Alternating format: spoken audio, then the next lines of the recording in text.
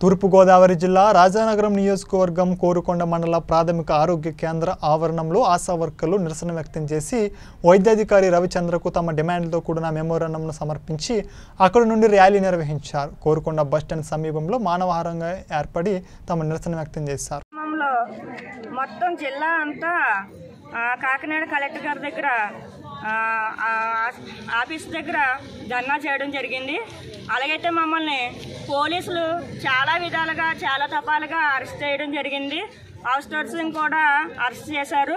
మా బేబీ రాణి మేడం గారిని రాజ్ కుమార్ సార్ని అలాగే అరెస్ట్ ఇంటి వద్ద అరెస్ట్ చేయడం జరిగింది. అయినా సరే మేమందరం అనేక రకాలుగా వెళ్ళి ఆ ధర్నాన్ని ముగించడం జరిగింది. ఆ ధర్నాలో చాలా మమ్మల్ని పోలీసులు చాలా దౌర్జన్య దౌర్జన్యంగా అరెస్ట్ చేయడం జరిగింది. అక్రమంగా అరెస్ట్ జ- జరగడం జరిగింది.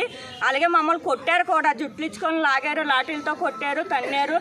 అలాగే పట్టేసుకొని కాళ్ళు చేతులు పట్టేసుకొని ఈడ్చుకుంటూ ఒంటి మీద బట్టలు కూడా లేకుండా మమ్మల్ని వీడ్చి వీడ్చుకెళ్ళి వ్యాన్లో పడేయడం జరిగింది. మాకు రక్తాలు రావడం కూడా జరిగింది. ఒక్కొక్కరికి అయితే చెయ్యిలు కాలు కూడా ఇరు- ఇరుగుపోవడం కూడా జరిగింది.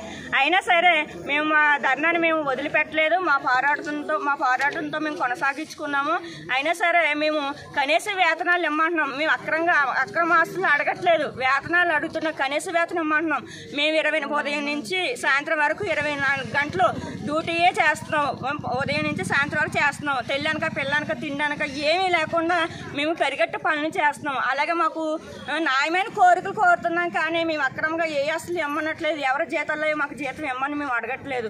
కనీస వేతనం చెల్లించమంటున్నాం. అలాగే చనిపోయిన కుటుంబంలో ఒక ఆశా వర్కర్కి ఒక ఉద్యోగం ఇమ్మంటున్నాం పక్క పక్కదారి పెట్టించేస్తున్నారు అలా పక్కదారి పెట్టించుకుంటా వాళ్ళకి మేము ఏవైతే సహాయం చేసామో పద గత గత పదహారు సంవత్సరాల బట్టి నుంచి మేము ఈ సేవ చేసుకుంటూ వస్తున్నాం. ఎండనక వాననక తిండో తినో తినకో రూపాయి కానించి మేము ఈ రోజు వరకు ఇంతవరకు తీసుకొచ్చి ఇన్ని సేవలు అందించాం.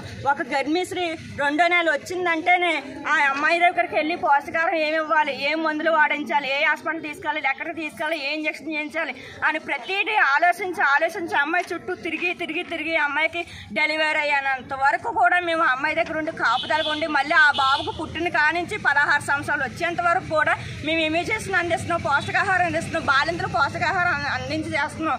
ప్రతిరోజు విటి విజిట్కి వెళ్తున్నాం గర్భిణీశ్రీలకి వెళ్తున్నాం. చిన్నపిల్లల నుంచి స్కూల్ పిల్లల అంటే బా కిషోర్ పాలకులు అంటే ప్రతి ఒక్కరికి వృద్ధాపం చెందిన వాళ్ళు ప్రతి ఒక్కరిని కూడా మేము ఏ ఏ వ్యక్తిని కూడా మేము మా వెయ్యి మా వెయ్యి పాపులేషన్లో కూడా మేము ఎవరిని విడిచిపెట్టట్లేదు. అలాగే ఏ కార్యక్రమం వచ్చినా సరే మేము ప్రతి ఆంట్లోనే పాల్గొంటున్నాం. మాకు కనీసం ప్రభుత్వంతో కూడిన సెలవు కూడా ఇవ్వట్లేదు. మాకు మెటర్మెంట్ లీవ్ లీవ్లు ఇవ్వట్లేదు. మేము కోవిడ్తో వచ్చినా సరే డ్యూటీలు ఇరవై నాలుగు గంటలు డ్యూటీలు చేయండి చేయండి చేయండి అని బెదిరించి అధికారులు ఉన్నారు తప్ప కానీ అయ్యో వీళ్ళు ఎంత సేవ చేస్తున్నారు? వీళ్ళకి మనం ఏదో ఒక ఉపకారం చేద్దాం.